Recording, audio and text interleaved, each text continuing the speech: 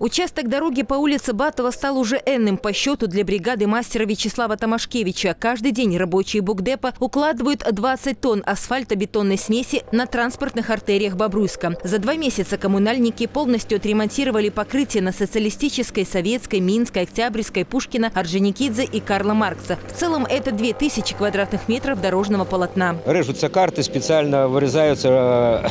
Если их не обрезать, то асфальт заложить в невырезанные ямы, он быстро вылетит.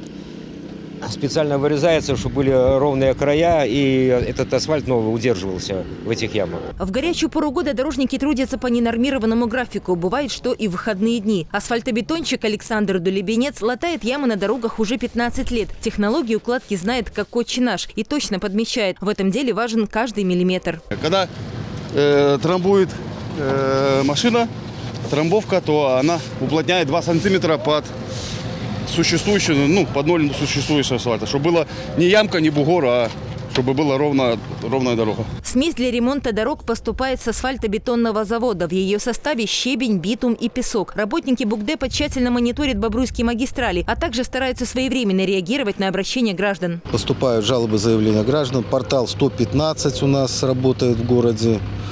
Э, по этим сообщениям работаем. Ну, то бишь закрываем по возможности весь город. Ямочный ремонт будет проводиться на протяжении всего лета. В ближайших планах дорожников благоустроить комбинатскую, интернациональную, речную, широкую и проспект строителей. Людмила Любимцева, Андрей Богдан, Бобруйск, 360.